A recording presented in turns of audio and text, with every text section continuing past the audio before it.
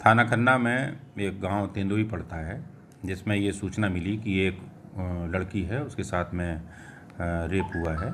इस सूचना पर तत्काल पुलिस टीम मौके पर भेजी गई और पीड़िता से पूछताछ की गई और तहरीर के आधार पर इसमें अभियोग पंजीकृत कर लिया गया है, जिसमें एक व्यक्ति को नेम्ड कराया है, जो गाँव का ही रहने वाला है और दो व्यक्ति इसमें अज्ञात हैं।